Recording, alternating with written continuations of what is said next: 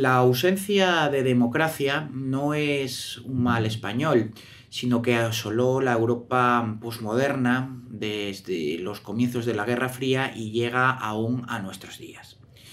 Eh, tan corrompidas por origen de irrepresentación e inseparación están las instituciones de la Unión Europea eh, que de común se vienen a convertir incluso en un auténtico cementerio de alezantes o un retiro dorado de quienes, eh, quemados ya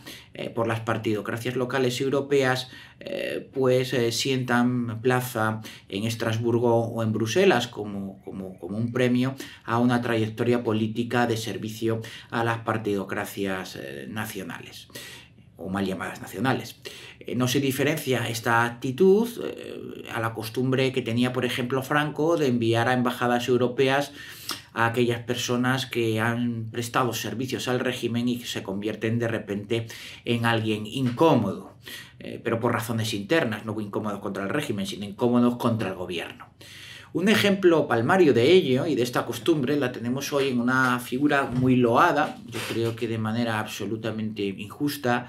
y supervalorada, eh, sobrevalorada, como es la figura de, de José Borrell. José Borrell, presidente del Parlamento Europeo que fue, luego director del Instituto Universitario Europeo y hoy en día alto representante de la Unión para Asuntos Exteriores y Política eh, de Seguridad. Eh, este señor, por ejemplo, parece que ya nadie se acuerda como el 28 de enero de 2010 eh, declaraba ante la Audiencia Provincial de Barcelona en calidad sorprendentemente de testigo, cuando quizás debiera haberlo sido como investigado, en el macrojuicio por el caso de corrupción de la Delegación de Hacienda en Cataluña. El que también fue ministro socialista, aseguraba que todo el mundo conocía que los altos cargos de Hacienda, el señor Ernesto Aguiar y José María Huguet, invertían en bolsa y admitió que él mismo lo hizo invitado por ellos, aunque sin obtener grandes beneficios. Borrell eh, que ocupara la presidencia de la más alta institución eh, comunitaria, declaró así un asunto que provocó ya su dimisión en el año 1999 como candidato socialista a la presidencia del gobierno, porque recordemos que se presentó a esas a esas primarias, siendo consolado y premiado por su honestidad eh, con las mieles del salario y la tranquilidad europeas que le han aupado hasta donde se encuentra hoy. El propio testigo en aquel juicio, que entró en la sala por una puerta lateral, esquivando así las cámaras que le esperaban eh, en la entrada principal, reconoció, sin embargo, eh, que ese caso, ese caso del macrojuicio de la Delegación de Hacienda de Cataluña, le costó su carrera dentro del PSOE, dada su relación eh, personal y profesional con los principales imputados en aquella trama, como eran, como he apuntado antes, el ex jefe de inspectores de Cataluña, don José María Huguet, y el ex delegado de Hacienda en esa misma comunidad,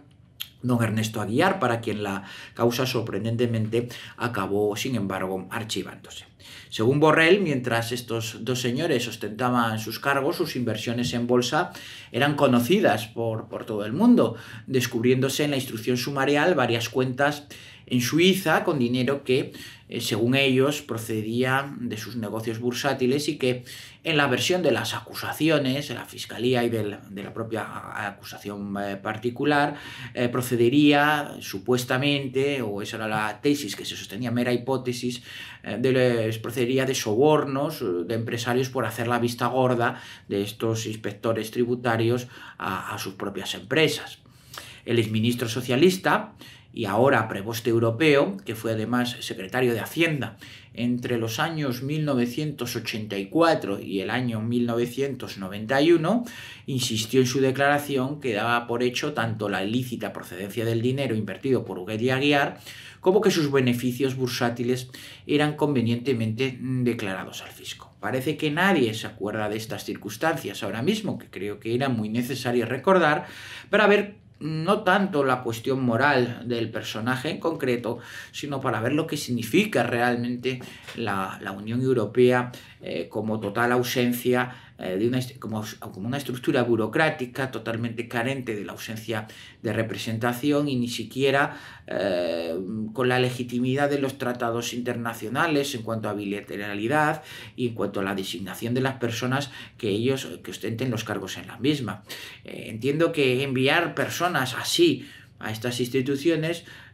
colma eh, la catadura moral de esas mismas instituciones. De esta manera, mandando a lo más granado de la fauna partidocrática española, creo que eh, se culminaría aquella frase que, Ortega y Gasset, que por otro lado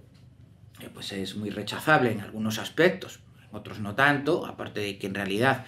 eh, pues en realidad mm, la mayoría de su construcción filosófica eh, sea un burdo remedo eh, de escasa originalidad, pero sin embargo ahí sí que estuvo acertado y quizás en casos como este lo podíamos aplicar, es lo que se referiría cuando hablaba de, de hispanizar Europa. ¿no? Parece que estamos hispanizando la partidocracia europea a la española, con las costumbres morales y políticas de la clase política española.